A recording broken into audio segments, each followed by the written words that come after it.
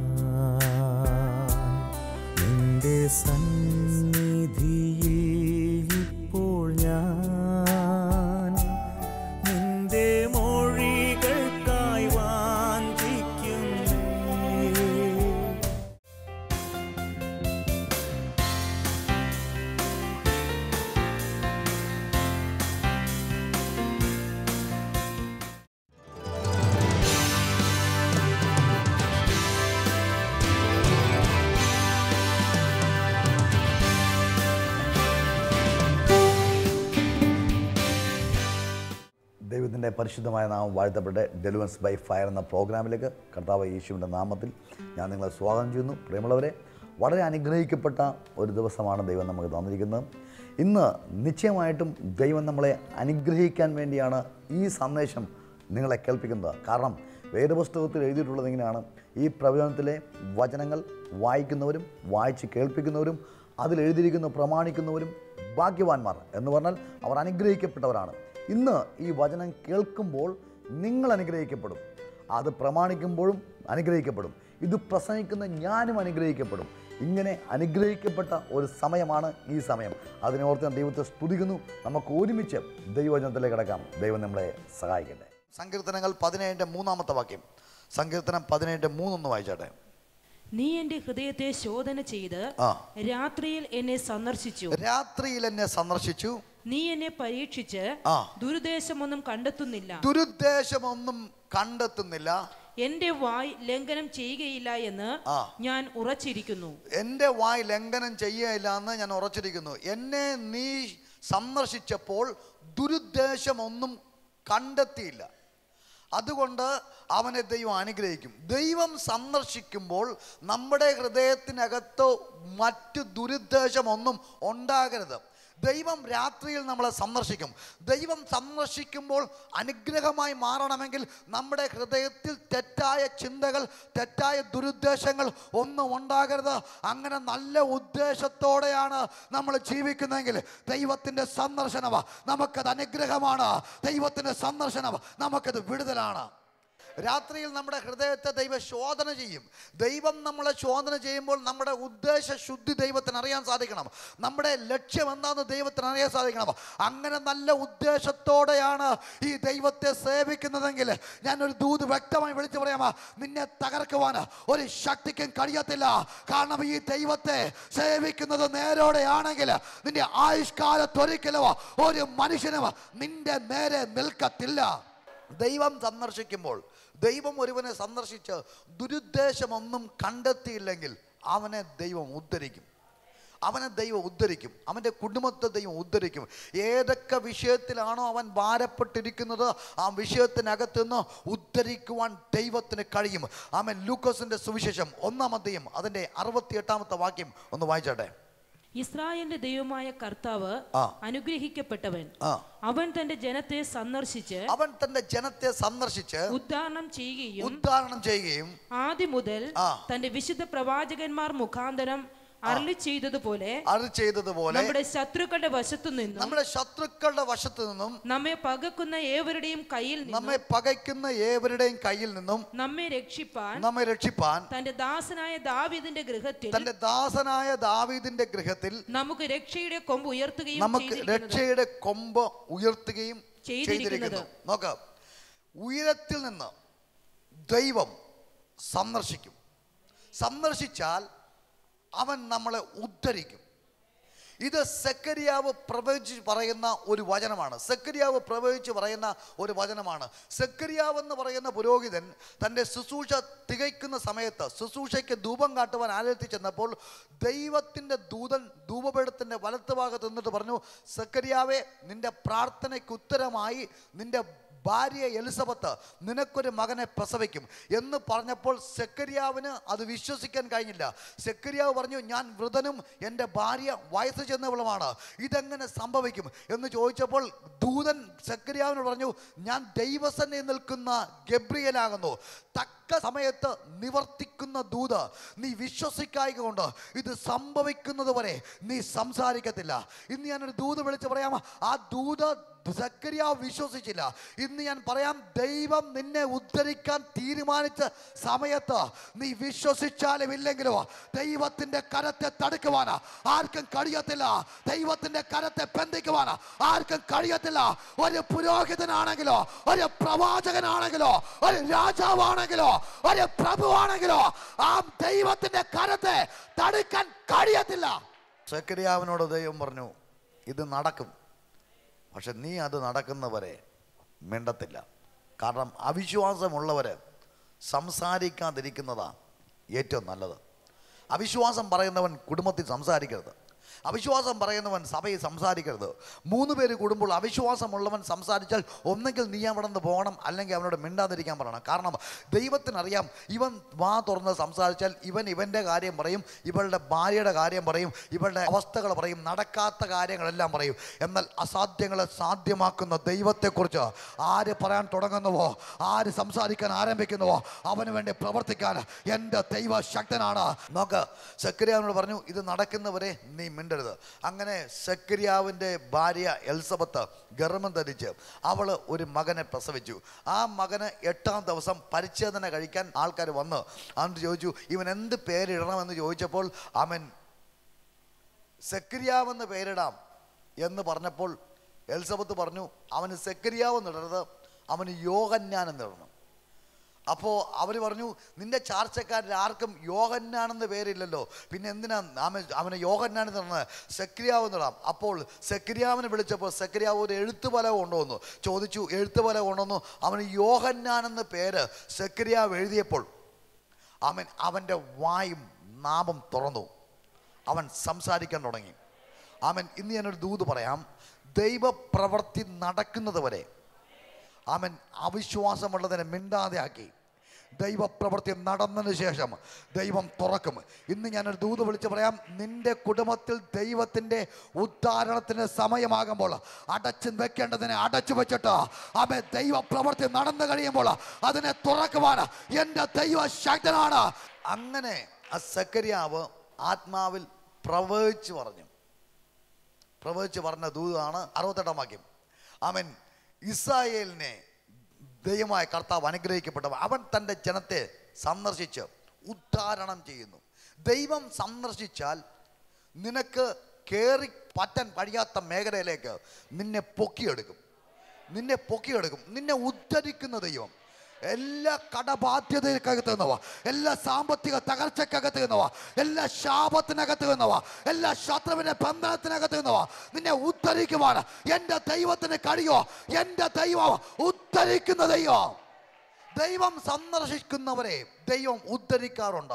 ആർക്കും ഉദ്ധരിക്കാൻ കഴിയാത്ത പ്രശ്നത്തിനകത്ത് കിടക്കുന്ന വ്യക്തിയാണെങ്കിലും യേശു സന്ദർശിച്ചാൽ അവരെ ഉദ്ധരിക്കാൻ കഴിയുക. ഇന്ന് ഞാനൊരു ദൂത് വ്യക്തമായി വിളിച്ചു പറയാമോ? യേശു നമ്മളെ സന്ദർശിച്ചാൽ ദുരുദ്ദേശമൊന്നും കണ്ടിട്ടില്ലെങ്കിൽ നമ്മളെ അവൻ ഉദ്ധരിക്കുന്ന ദൈവമാണ്. എവിടെന്നാ ഉദ്ധരിക്കുന്ന? ശത്രുവിന്റെ കയ്യിൽ നിന്നവ പകയ്ക്കുന്നവരുടെ കയ്യിൽ നിന്നവ അവൻ നമ്മളെ ഉദ്ധരിക്കാൻ ശക്തിയുള്ളവനാണ്. കർത്താവ് നമ്മളെ സന്ദർശിക്കണം.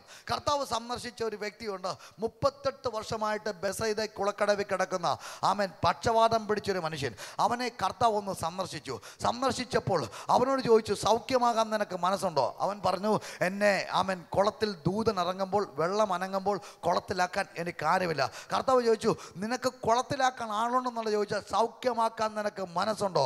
അവൻ പറഞ്ഞു എനിക്ക് മനസ്സുണ്ട്. ഉടനെ എഴുന്നേറ്റ് നടക്കാമെന്ന് പറഞ്ഞപ്പോൾ അവൻ ക്ഷണത്തിൽ എഴുന്നേറ്റ് നടന്ന് ദൈവത്തെ മഹത്വപ്പെടുത്തി. ഇന്ന് ഞാൻ വിളിച്ചു പറയാം ആരും പ്രതീക്ഷിച്ചില്ല ഇവനൊരു ഉദ്ധാരണം നടക്കുമെന്ന്. ആരും വിചാരിച്ചില്ല. ഇവനെ സന്ദർശിച്ച് ഇവനെ ഉദ്ധരിക്കുമെന്ന്. ഇന്ന് പകൽ ഞാൻ വിളിച്ചു പറയാമോ ദൈവം നിന്നെ സന്ദർശിച്ചാൽ ആർക്കും ഉദ്ധരിക്കാൻ കഴിയാത്ത പ്രശ്നത്തിനകത്ത് ആർക്കും ഉദ്ധരിക്കാൻ കഴിയാത്ത പ്രതികൂലത്തിനകത്ത് നീ ബന്ധിക്കപ്പെട്ട് കിടക്കുന്നുവോ? അതിനകത്ത് നിന്ന് നിന്നെ ഉദ്ധരിക്കാൻ എന്റെ ദൈവത്തിന് കഴിയോ? എന്റെ ദൈവം ഉദ്ധരിക്കുന്ന ദൈവം. ദൈവം ഒന്ന് സന്ദർശിച്ചാലുണ്ടല്ലോ. നമ്മളെ ഉദ്ധരിക്കും. ഞാൻ നിങ്ങളോട് വിളിച്ചു പറയാം നിങ്ങൾക്ക് കഴിയാത്ത ഏതൊക്കെ വിഷയത്തിലാണോ നിങ്ങൾ തകർന്നു കിടക്കുന്നത് ഇന്ന് ദൈവത്തോട് പറ കർത്താവ് നീ ഒന്ന് സന്ദർശിക്കണമേ നീ ഒന്ന് സന്ദർശിക്കണമേ നീ സന്ദർശിച്ചാൽ എന്നെ ഉദ്ധരിക്കാൻ കഴിയുമോ? നീ എന്നെ ഒന്ന് സന്ദർശിച്ചാൽ എന്നെ ഉദ്ധരിക്കാൻ കഴിയും ഞാൻ വിളിച്ചു പറയാം നമ്മുടെ ദൈവം ഉദ്ധാരണങ്ങളുടെ ദൈവമാണ്. മരണത്തിന്റെ നീക്കുപോക്ക് യഹോവയ്ക്കുള്ളതാകുന്നു. ഇന്ന് പകൽ ഉദ്ധരിക്കാൻ ദൈവം തീരുമാനിച്ചാൽ ഏത് മരണശക്തിയെ മാറ്റി നിർത്തി ഏത് മരണബന്ധനവും അഴിച്ചു മാറ്റി എന്റെ ദൈവത്തിന് നിന്നെ ഉദ്ധരിക്കാൻ കഴിയോ? ദൈവം ഉദ്ധരിക്കുന്ന ദൈവം. ഒരിക്കൽ ഇസ്രായേൽ മക്കൾക്ക് ഒരു വലിയ പ്രതികൂലം നേരിട്ടു. യഹൂദന്മാരെ കൊല്ലുവാൻ വേണ്ടി അവൻ തീരുമാനിച്ച ഒരു കാലഘട്ടം. ആ കാലഘട്ടത്തിൽ എസ്തർ രാജസന്നി നിൽക്കുക. അപ്പം മോർദക്കായി പറയുന്നൊരു പദമുണ്ട് ഈ സമയത്ത് നീ മിണ്ടാതിരുന്നാൽ യഹൂദന് മറ്റൊരു സ്ഥാനത്ത് നിന്ന് ഉദ്ധാരണവും രക്ഷയും ഉണ്ടാകും. ഇന്ന് ദൈവത്തെ സേവിക്കുന്നവനാണോ? യഹൂദ എന്ന വാക്കിന്റെ അർത്ഥം സ്തുതി എന്നാണ്. സ്തുതിക്കുന്നവനാണോ? നിന്നെ ഉദ്ധരിക്കാൻ ആമ ദൈവം ദൈവത്തിന്റെ കരം നീട്ടുക നിന്നെ ഉദ്ധരിക്കാൻ ആമ യഹൂദന് ഉദ്ധാരണമാ. മറ്റൊടുത്ത് ഒരിടത്തുനിന്ന് ഉണ്ടാകും. ഞാൻ വിളിച്ചു പറയാമോ ഒരിക്കലും നിങ്ങൾ തകരാൻ ദൈവം സമ്മതിക്കത്തില്ല. ഉദ്ധാരണമില്ലാതെ അവൻ നശിച്ചു പോകാൻ എന്റെ ദൈവം സമ്മതിക്കത്തില്ല. എന്റെ ദൈവം ഉദ്ധരിക്കുന്ന ദൈവമാണ്.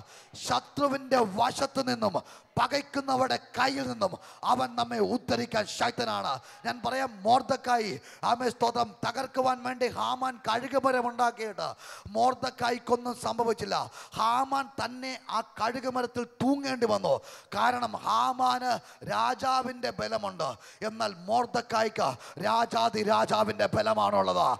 ആമേ ഹാമാന് മനുഷ്യരുടെ പിൻബലമുള്ളപ്പോൾ ആമേ മോർദക്കായ്ക്കുള്ളത് ദൈവത്തിന്റെ പിൻബലമാണ്. ഇനി ഞാൻ വിളിച്ചു പറയാം ആമേ മനുഷ്യന്റെ പിൻബലമുള്ളവന് ദൈവത്തിന്റെ പിൻബലമുള്ളവന്റെ ഒപ്പം നിൽക്കത്തില്ല.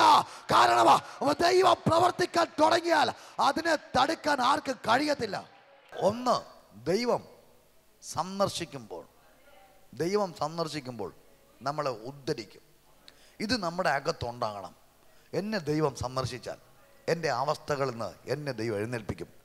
എന്നെ ദൈവം ഉദ്ധരിക്കും. ഞാൻ നിങ്ങളോട് പറയാം യോസഫ് മരിക്കാനായി കിടക്കുമ്പോൾ മുപ്പത്തി അമ്പതിന്റെ ഇരുപത്തിനാല് ഇരുപത്തഞ്ച് വാക്യങ്ങളിൽ എഴുതി വെച്ചിട്ടുണ്ട് ഞാൻ മരിക്കുന്നു പക്ഷേ ദൈവം നിങ്ങളെ സന്ദർശിക്കും. ദൈവം നിങ്ങളെ ഈ ദേശത്തു നിന്ന് മടക്കി കൊണ്ടുപോകും. അബ്രഹാമിനോടും ഇസ്ഹാക്കിനോടും യാക്കോബിനോടും ചെയ്ത വാക്തത്വം ദൈവം നിവർത്തിക്കും. ഞാൻ മരിക്കുന്നു സഹോദരന്മാരെ ഞാൻ മരിക്കുക പക്ഷേ ദൈവം നിങ്ങളെ ഉദ്ധരിക്കും. ദൈവം നിങ്ങളെ ഉദ്ധരിക്കും ദൈവം നിങ്ങളെ സന്ദർശിക്കും. ഇവിടുന്ന് ഈ അടിമ വീട്ടിൽ നിന്ന് നിങ്ങളെ പുറത്ത് കൊണ്ടുവന്ന് നിങ്ങൾക്ക് വാക്തത്വം ചെയ്ത കനാൻ ദേശത്ത് നിങ്ങളെ ദൈവം കൊണ്ടെത്തിക്കുക. യോസഫിന് അകത്ത് നല്ല ഉറപ്പുണ്ടായിരുന്നു അകത്ത് നല്ല വിശ്വാസമുണ്ടായിരുന്നു. ഞാൻ മരിച്ചാലും ദൈവത്തിന്റെ സന്ദർശനമാ ഈ ജനത്തിന്മേൽ ഉണ്ടാകുക അവൻ വാക്തത്വം ചെയ്തതുപോലെ അവരെ വാക്തത്വ നാട്ടിലെത്തിക്കും. ഇന്ന് നിങ്ങളുടെ അകത്ത് ഒരു വിശ്വാസം വരണം ദൈവം എന്നെ സന്ദർശിച്ചാൽ. ദൈവം എന്നെ സന്ദർശിച്ചാൽ എനിക്ക് ഉദ്ധാരണമുണ്ടാകും. എനിക്ക് ഉദ്ധാരണമുണ്ടാകും. ഞാൻ വിളിച്ചു പറയാൻ ദൈവം ഒരു വ്യക്തിയെ സന്ദർശിച്ചാലുണ്ടല്ലോ ആ വ്യക്തിയുടെ സ്ഥിതിക്ക് ദൈവം മാറ്റം വരുത്തും. ദൈവം നിങ്ങളെ സന്ദർശിക്കുമ്പോൾ നിങ്ങൾ വിചാരിക്കരുത് ഇതെങ്ങനെ സംഭവിക്കുമെന്ന്. ദൈവം സന്ദർശിച്ചിട്ടുണ്ടെങ്കിൽ അവനെ ആകമാനം മാറ്റി ഉയർത്തുവാൻ എന്റെ ദൈവത്തിന് കഴിയും. ദൈവം ആരെയൊക്കെ സന്ദർശിച്ചിട്ടുണ്ടോ അവരെല്ലാം ദൈവം ഉദ്ധരിച്ചിട്ടുണ്ട്. ദൈവത്തിന്റെ സന്ദർശനം നമ്മുടെ മേൽ വന്നു കഴിയുമ്പോൾ നമ്മൾ ആകെ മാറും. ഒരു ക്രിസ്തുവിലാകുമ്പോൾ അവൻ പുതിയ സൃഷ്ടിയാകും. പഴയതെല്ലാം കഴിഞ്ഞു പോകും. ദൈവമക്കളെ സ്തോത്രം. ദൈവം സന്ദർശിക്കാൻ വേണ്ടി പ്രാർത്ഥിക്കണം. പലരും വിചാരിക്കുന്നത് ദൈവം സന്ദർശിക്കുന്നത് നശിപ്പിക്കാനാണെന്ന്. ചിലരൊക്കെ നശിപ്പിക്കാൻ വേണ്ടി ദൈവം സന്ദർശിച്ചിട്ടുണ്ട്. പക്ഷേ ഒരിക്കലും ദുരുദ്ദേശമൊന്നും കണ്ടില്ലെങ്കിൽ നിന്റെ ഹൃദയത്തിനകത്ത് ആമ ദുരുദ്ദേശമൊന്നും കണ്ടില്ലെങ്കിൽ ദൈവത്തിന്റെ സന്ദർശനം നിനക്ക് അനുഗ്രഹമാണ്. ആമ ദൈവത്തിന്റെ വചനം പറയുന്നു ആമ നിങ്ങളുടെ പിതാക്കന്മാർ ചെയ്ത അകൃത്യത്തിന് മൂന്നാമത്തെയും നാലാമത്തെയും തലമുറ വരെ ഞാൻ നിങ്ങളുടെ മക്കളുടെ മേൽ സന്ദർശിക്കുക. ഒരു പിതാവ് പാപം ചെയ്താൽ ഒരു പിതാവ് വിഗ്രഹത്തെ സേവിച്ചാൽ ഒരു പിതാവ് വിഗ്രഹത്തിന്റെ പുറകെ നടന്നാൽ അവൻ ആഭിചാര ക്രിയ ചെയ്താൽ അവൻ മറ്റുള്ളവരെ ദ്രോഹിച്ചാൽ വേദപുസ്തകം പറയുന്നു അവന്റെ മൂന്നാമത്തെയും നാലാമത്തെയും തലമുറ വരെ അവന്റെ മക്കളെ സന്ദർശിക്കുമെന്ന് ദോഷത്തിനെ സന്ദർശിക്കുമെന്ന് വേദപുസ്തകം പറയുമ്പോൾ അതേ പുസ്തകത്തിൽ തന്നെ എഴുതിയിട്ടുണ്ട്. എന്നെ കൽപ്പനകൾ പ്രമാണിച്ച് എന്നെ സേവിക്കുന്നവന്റെ ആയിരം തലമുറ വരെ ആയിരം തലമുറ വരെ ഞാൻ അനുഗ്രഹിക്കുന്ന ദൈവമാണ്. ഇന്ന് പകൽ നാല് തലമുറ വരെ സന്ദർശിക്കുമ്പോൾ ആയിരം തലമുറ വരെ ദയ കാണിക്കുന്ന അവന്റെ വിശ്വസ്തതയ്ക്കായി ഞാൻ ദൈവത്തെ സ്തുതിക്കുന്നു അപ്പോൾ ദോഷത്തിനായിട്ട് സന്ദർശിക്കുന്നത് നാല് തലമുറ വരെ ഉള്ളു. പക്ഷെ അനുഗ്രഹത്തിനായിട്ട് സന്ദർശിക്കുന്നത് ആയിരം തലമുറ വരെ ഉണ്ടാകും. ഇന്ന് എത്ര പേർ വിശ്വസിക്കുന്നുണ്ട്? ദൈവത്തെ സേവിക്കാൻ തുടങ്ങുമ്പോൾ നീ കുറിച്ചു വെച്ചോണം. എന്റെ ആയിരം തലമുറ വരെ അനുഗ്രഹിക്കപ്പെടാൻ പോകുന്ന അനുഗ്രഹിക്കപ്പെടാൻ പോകുന്ന ഒരു കാര്യമാണ് ഞാൻ ചെയ്യുന്നത്. എന്നെ അറിയാത്ത എന്റെ പേര് കുടുംബ പുസ്തകത്തിൽ നിന്ന് മാറിപ്പോയാലോ? ആ പുസ്തകത്തിലെ ഒരു തലമുറ മറന്നു പോയാലോ? ആമ ഞാൻ വിളിച്ചു പറയാം ഞാൻ ദൈവത്തെ സേവിക്കുന്നത് കൊണ്ട് എന്റെ ആയിരം തലമുറ വരെ ആയിരം തലമുറ വരെ ദയ കാണിക്കാമെന്ന് ഈ പുസ്തകത്തിൽ എഴുതിയിട്ടുണ്ടെങ്കിൽ ഞാൻ ദൈവത്തെ സേവിക്കുന്നത് വെറുതെ അല്ല. അതെന്റെ ജീവിതത്തിൽ അനുഗ്രഹമാണ്. സഫന്യാവിന്റെ പുസ്തകം രണ്ടാം അധ്യയം അതിന്റെ ഏഴാമത്തെ വാക്യം. തീരപ്രദേശം യഹൂദ ഗൃഹത്തിൽ ശേഷിപ്പാകും. അവൻ അവിടെ മേയ്ക്കും. അസ്കലോന്റെ വീടുകളിൽ അവർ വൈകുന്നേരത്ത് കിടന്നുറങ്ങും. അവരുടെ ദൈവമായ യഹോവ അവരെ സന്ദർശിച്ച് അവരുടെ സ്ഥിതി മാറ്റും. ദൈവം സന്ദർശിച്ച് നിന്റെ സ്ഥിതി മാറ്റും. എങ്ങനത്തെ സ്ഥിതിയിലാണ് നീ കിടക്കുന്നതെങ്കിലും നിന്റെ സ്ഥിതി മാറ്റാൻ എന്റെ ദൈവത്തിന് കഴിയും. ദൈവം സന്ദർശിക്കുമ്പോൾ ഓർത്തോണം സ്ഥിതി മാറും. ദൈവം ഒന്ന് നമ്മളെ സന്ദർശിച്ചിറങ്ങുമ്പോൾ നമ്മുടെ സ്ഥിതിക്ക് മാറ്റം വരും. ദൈവത്തോട് പ്രാർത്ഥി കർത്താവ് നീ ഒന്നൊന്ന് സന്ദർശിക്കണമേ. നീ എന്നെ ഒന്ന് സന്ദർശിക്കണമേ. എന്റെ സ്ഥിതി ഒന്ന് മാറണവാ. എന്റെ അവസ്ഥയ്ക്കൊരു വ്യത്യാസം വരണവാ. കർത്താവ് നീ എന്നെ ഒന്ന് സന്ദർശിക്കണമേ. എന്ന് പറഞ്ഞ് പ്രാർത്ഥിച്ചാൽ അവൻ നമ്മുടെ സ്ഥിതിക്ക് മാറ്റം വരുത്തുക അവൻ നമ്മുടെ അവസ്ഥകൾക്ക് മാറ്റം വരുത്തുക ഇന്ന് ഈ സ്ഥിതിക്കകത്ത് തുടരാൻ ദൈവം സമ്മതിക്കത്തില്ല. ദൈവം സന്ദർശിച്ചിട്ടുണ്ടോ അവന്റെ സ്ഥിതിക്ക് ദൈവം മാറ്റം വരുത്തിയിരിക്കും. ഒരു ഭവനത്തിനകത്ത് ദൈവം വന്നാൽ ഒരു ദേശത്ത് ദൈവം വന്നാൽ ഒരു രാജ്യത്ത് ദൈവം വന്നാൽ ആ ദേശത്തിന്റെ സ്ഥിതിക്ക് മാറ്റം വന്നിരിക്കും. സ്ഥിതി മാറണമെങ്കിൽ ദൈവം സന്ദർശിക്കണം. പഴയ നിയമത്തിൽ അവൻ യഹോമ വസിക്കുന്നത് പെട്ടകത്തിനകത്തായിരുന്നു. ദൈവമഹത്വം വസിക്കുന്നത് പെട്ടകത്തിനകത്തായിരുന്നു. ആ പെട്ടകം ഒരിക്കൽ മൂന്ന് മാസം കുന്നിന്മേലുള്ള ഏബേദോദമിന്റെ വീട്ടിനകത്ത് ഈ കുന്നിന്മേലുള്ള ഏബേദോദമിന്റെ വീട്ടിനകത്ത് ഈ പെട്ടകം കൊണ്ട് വെച്ചു. പെട്ടകം കൊണ്ട് വെച്ചപ്പോൾ പെട്ടകം നിമിത്തം ഏബേദോദമിനെയും അവന്റെ കുടുംബത്തെയും അവനുള്ള സകലത്തെയും ദൈവം അനുഗ്രഹിച്ചു. ദൈവത്തിന്റെ പെട്ടകം കയറിയപ്പോൾ അവന്റെ കുടുംബത്തിന്റെ സ്ഥിതിക്ക് മാറ്റം വന്നെങ്കിൽ ആമെ സകലത്തെയും ഉണ്ടാക്കിയ കർത്താവ് രാജാതി രാജാവുമായ യേശു നിന്റെ അകത്ത് വന്നാൽ നിന്റെ സ്ഥിതിക്ക് എങ്ങനെ മാറ്റം വരാതിരിക്കുക നിന്റെ അവസ്ഥകൾക്ക് എങ്ങനെ മാറ്റം വരാതിരിക്കും? ഞാൻ പറയാം പെട്ടകം വന്നപ്പോൾ പെട്ടകം വന്നപ്പോൾ സ്ഥിതി മാറി. സ്ഥിതി മാറിയപ്പോൾ ദാവിദിന് കാര്യം പിടുത്തം കിട്ടി.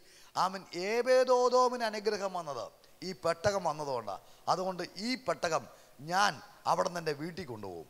അവിടെ നിന്ന് എന്റെ വീട്ടിൽ കൊണ്ടുപോകും. ഞാൻ പറയാം നമ്മുടെ സ്ഥിതി മാറിയില്ലെങ്കിൽ ഈ പെട്ടകത്തിന് ആരും ആഗ്രഹിക്കത്തില്ല. നമ്മൾ ദൈവത്തെ സേവിക്കുമ്പോൾ നമ്മുടെ സ്ഥിതി മാറും. സ്ഥിതി മാറിയിരിക്കും. ദൈവത്തിന്റെ സന്ദർശനം നിന്റെ മേൽ ഉണ്ടായാൽ നിന്റെ സ്ഥിതിക്ക് മാറ്റം വന്നിരിക്കും. അപ്പം സ്ഥിതി മാറണമെങ്കിൽ ദൈവം നിന്നെ സന്ദർശിക്കണം. ദൈവം സന്ദർശിക്കുമ്പോൾ സ്ഥിതി മാറിയിരിക്കും. എത്ര ഞെരുക്കമാണെങ്കിലും ദൈവം സന്ദർശിച്ചാൽ ആ ഞെരുക്കം മാറിയിരിക്കുക. എത്ര തകർച്ചയാണെങ്കിലും ആ തകർച്ച മാറിയിരിക്കുക. ദൈവം സന്ദർശിച്ചാൽ നിന്നെ ആ സ്ഥിതിക്കകത്ത് നിന്ന് ദൈവം മാറ്റം വരുത്തി നിന്നെ ഉദ്ധരിക്കുവാൻ ദൈവത്തിന് കഴിയും. അപ്പോൾ ദൈവം നമ്മളെ സന്ദർശിക്കാൻ വേണ്ടി നമ്മൾ നമ്മളെ തന്നെ ഏൽപ്പിച്ചു കൊടുക്കണം. ദൈവം ഒന്ന് സന്ദർശിക്കണം. കർത്താവെ എന്നെ നീ ഒന്ന് സന്ദർശിക്കണമേ. എന്നെ നീ ഒന്ന് സന്ദർശിക്കണമേ. എന്റെ അവസ്ഥയ്ക്കൊരു മാറ്റം വരുത്തണം. എന്റെ സ്ഥിതിക്കൊരു മാറ്റം വരുത്തണം. ഇന്ന് ഞാൻ വിളിച്ച് പറയാം ദൈവം ഒന്ന് സന്ദർശിച്ച് കഴിഞ്ഞാൽ ആ സെക്കൻഡിൽ അവന്റെ സ്ഥിതിക്ക് മാറ്റം വരും. ആമൻ. ദൂതന്മാരെ പീഡിപ്പിക്കാൻ വേണ്ടി ഇറങ്ങിത്തിരിച്ച ഷവലിനെ ദൈവം ഒന്ന് സന്ദർശിച്ചു. ശവലിനെ ദൈവം ഒന്ന് സന്ദർശിച്ചപ്പോൾ അവൻ നേരെ തിരിഞ്ഞു. ഈ ക്രിസ്ത്യാനികളെ പീഡിപ്പിച്ചവൻ യേശുവിനെ പ്രസംഗിക്കാൻ തുടങ്ങി. കാരണം ദൈവം അവനെ ഒന്ന് സന്ദർശിച്ചതാ. ഇന്ന് പകൽ ഏത് വ്യക്തിക്കും സ്ഥിതി മാറണമെങ്കിൽ ഏത് വ്യക്തിയുടെ അവസ്ഥ മാറണമെങ്കിൽ ദൈവം ഒന്ന് സന്ദർശിച്ചാൽ മതി. ദൈവം ഒന്ന് സന്ദർശിച്ചാൽ ആ സ്ഥിതികൾക്ക് മാറ്റം വരും. ഇന്ന് പ്രാർത്ഥിക്കുന്നവർ ഉറച്ച് പ്രാർത്ഥിച്ചോണവ. കർത്താവ് നീ ഒന്ന് സന്ദർശിച്ചാൽ എന്റെ അവസ്ഥകൾക്ക് മാറ്റം വരുക എന്റെ സ്ഥിതികൾക്ക് മാറ്റം വരുക ആമേ എന്റെ സ്ഥിതി മാറാൻ എന്റെ അവസ്ഥ മാറാൻ നീ എന്നെ ഒന്ന് സന്ദർശിക്കണമേ. ഒരിക്കൽ ബദ്ലഹേമിൽ വലിയ ക്ഷാമം വന്നു. വലിയ ക്ഷാമം എന്ന് പറഞ്ഞാൽ ബദ്ലഹേമിൽ വലിയ ക്ഷാമം വന്നിട്ട് അവൻ എല്ലാവരും ആ ദേശത്തുനിന്ന് ഇറങ്ങിപ്പോവുകയാണ്. ആ ദേശത്തുനിന്ന് മാറി മാറി ദേശത്തേക്ക് പരദേശികളായി പോവുക. അങ്ങനെയാണ് എലിമലേക്കും കുടുംബവും ആമെ സ്ഥലം മോബാമിലേക്ക് പോയത്. എന്നാൽ ആമെ ചില ദിവസങ്ങൾ കഴിഞ്ഞപ്പോൾ ചില വർഷങ്ങൾ കഴിഞ്ഞപ്പോൾ അവർ കേട്ടു ദൈവം ബബ്ലഹേമിനെ സന്ദർശിച്ച് അവർക്ക് ആഹാരം കൊടുത്തിരിക്കുന്നു. അങ്ങനെ നവോമി മടങ്ങി വന്നു. ഇനി ഞാൻ വിളിച്ചു പറയാം നിന്നെ വിട്ടുപോയതെല്ലാം ദൈവം നിന്നെ സന്ദർശിച്ച് അനുഗ്രഹിച്ചു കഴിയുമ്പോൾ മടങ്ങി വരുക ദൈവം നിന്റെ സ്ഥിതിക്ക് മാറ്റം വരുത്തി കഴിയുമ്പോൾ മടങ്ങി വരുക നിന്നെ തള്ളിക്കളഞ്ഞതല്ല നിന്നെ നമസ്കരിച്ച് മടങ്ങി വരണമെങ്കിൽ ദൈവം നിന്നെ സന്ദർശിച്ച് നിന്റെ സ്ഥിതിക്ക് മാറ്റം വരുത്തണവ ദൈവം സന്ദർശിച്ച് സ്ഥിതിക്ക് മാറ്റം വരുത്തി കഴിയുമ്പോൾ വിട്ടുപോയതെല്ലാം മടങ്ങി വരും. ഉൽപ്പത്തി പുസ്തകം ഇരുപത്തൊന്നാം അധികം അതിന്റെ ഒന്നാമത്തെ വാക്യം വായിച്ചാട്ടെ. അനന്തരം യഹോവ. താൻ അരുളി ചെയ്തിരുന്നത് പോലെ സാറയെ സന്ദർശിച്ചു. താൻ വാഗ്ദത്തം ചെയ്തിരുന്നത് യഹോവ സാറയ്ക്ക് നിവർത്തിച്ചു കൊടുത്തു. മതി. ഇവിടെ വായിക്കുന്ന എങ്ങനെയാണ്? അനന്തരം യഹോവ താൻ അരുൾ ചെയ്തതുപോലെ സാറയെ സന്ദർശിച്ച് താൻ വാക്തത്വം ചെയ്തിരുന്നത് യഹോവ സാറയ്ക്ക് നിവർത്തിച്ചു കൊടുത്തു. ഈ ദൂത് പറയുമ്പോൾ നിങ്ങൾ ശ്രദ്ധിച്ച് കേൾക്കണം. സാറ ഒരിക്കലും ഒരു കുഞ്ഞുണ്ടാകുമെന്നുള്ള പ്രതീക്ഷയൊക്കെ നഷ്ടപ്പെട്ട് അവളുടെ ഗർഭപാത്രം നിർജീവമായി പോയത്. സാറക്കറിയാം.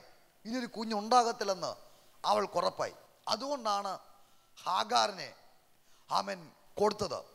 അബ്രഹാമിന് ഹാഗാറിനെ കൊടുത്തിട്ട് അവളുടെ മടി പ്രസവിക്കട്ടെ എന്ന് പറഞ്ഞ് ആമൻ സ്തോത്രം. ആമൻ ഹാഗാറിനെ അബ്രഹാമിന് ഭാര്യയായി കൊടുത്തത് ഈ സാറയുടെ എല്ലാ പ്രതീക്ഷകളും എല്ലാ പ്രത്യാശയും അസ്തമിച്ചപ്പോഴാണ്. അവളോട് ദൈവം പറഞ്ഞു അടുത്ത വർഷം ഈ സമയത്ത് നിനക്കൊരു കുഞ്ഞുണ്ടാവും എന്ന് പറഞ്ഞപ്പോൾ അവൾ തിരിച്ചു കളഞ്ഞു. കാര്യം അവക്കറിയാം ഇനി ഒരു കുഞ്ഞുണ്ടാകാൻ പോകുന്നില്ല. ഇനി ഒരു വിടുതൽ കാണത്തില്ല എന്ന് പറഞ്ഞ കേട്ട വാക്തത്വങ്ങൾ കൈവിട്ട് കളഞ്ഞ ഒരു സാഹചര്യത്തിലാണ് സാറയെ ദൈവം സന്ദർശിച്ചത്. ഞാൻ നിങ്ങളോട് പറയാം നിങ്ങൾ കൈവിട്ട് കളഞ്ഞാലും ദൈവം പറഞ്ഞ വാക്തത്വം ദൈവം കൈവിടത്തില്ല. ദൈവം പറഞ്ഞ ആലോചന ദൈവം കൈവിടത്തില്ല. സാഹചര്യങ്ങൾ കൊണ്ട് അവസ്ഥകൾ കൊണ്ട് നിങ്ങളത് കൈവിട്ട് കളഞ്ഞാലോ? നിങ്ങൾ നടക്കത്തില്ലെന്ന് പറഞ്ഞ? വിട്ട് കളഞ്ഞാലോ? ഇന്ന് എന്നെ കേൾക്കുന്ന പ്രിയ സഹോദരി സഹോദരന്മാരെ ഞാൻ വിളിച്ചു പറയാം. ദൈവം അത് കൈവിടത്തില്ല. ദൈവം സാറയെ സന്ദർശിച്ച് താൻ വാഗ്ദത്തം ചെയ്തതിനെ നിവർത്തിച്ചു കൊടുത്തു. ഇനി ഞാൻ വിളിച്ചു പറയാം ദൈവം സന്ദർശിച്ചാൽ ദൈവം പറഞ്ഞ വാക്തത്വങ്ങൾ നിവർത്തിക്കുവാൻ എന്റെ ദൈവം നിന്നെ സന്ദർശിക്കും. ദൈവം സന്ദർശിച്ചു കഴിഞ്ഞാൽ നമ്മോട് പറഞ്ഞ വാക്തത്വങ്ങൾ ദൈവം നിവർത്തിച്ചു തരും. ഗർഭപാത്രമില്ലെങ്കിൽ ആമെ സാറയ്ക്ക് ഒരു പുതിയ ഗർഭപാത്രം കൊടുക്കാൻ എന്റെ ദൈവത്തിന് കഴിയും ഇന്ന് ഞാൻ വിളിച്ചു പറയാം നിങ്ങൾ കൈവിട്ട് കളഞ്ഞ എല്ലാ വാക്തത്വങ്ങളും നിങ്ങൾ നടക്കത്തില്ലെന്ന് പറഞ്ഞ എല്ലാ വാക്തത്വങ്ങളും ദൈവത്തിന്റെ സന്ദർശനം വന്നു കഴിയുമ്പോൾ ആ വാക്തത്വങ്ങൾ നിവർത്തിക്കുന്ന ആമെ ദൈവ പ്രവൃത്തി നമ്മുടെ മധ്യത്തിൽ വെളിപ്പെട്ട് വരുക. അപ്പൊ കർത്താവ് ഒരു വ്യക്തിയെ സന്ദർശിച്ചാൽ നിശ്ചയമായിട്ടും അവർക്ക് ആ വാക്തത്വം നിവർത്തിച്ചു കൊടുക്കും.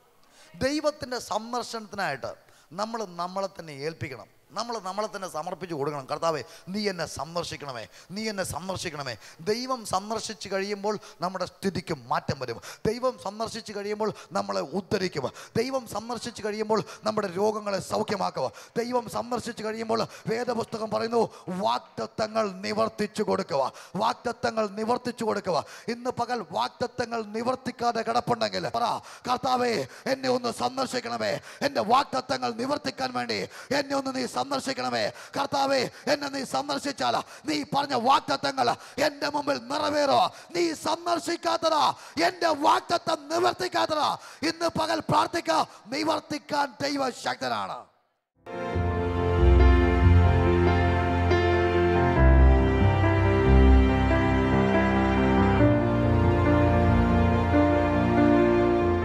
കഴിഞ്ഞ മാർച്ച് ഇരുപത്തി ആറാം തീയതി എന്റെ മകൾക്ക് പനിയും ഛർദിലുമായിട്ട് വീട്ടിൽ അംഗൻവാടിയിൽ നിന്ന് വീട്ടിൽ വിളിച്ചു പറഞ്ഞു. പോയി അവിടെ വിളിച്ചു കൊണ്ടുവന്നു. അടുത്തുള്ള ഒരു ആശുപത്രിയിൽ കൊണ്ടുപോയി. തൽക്കാലത്തേക്ക് മരുന്ന് കൊടുത്തു.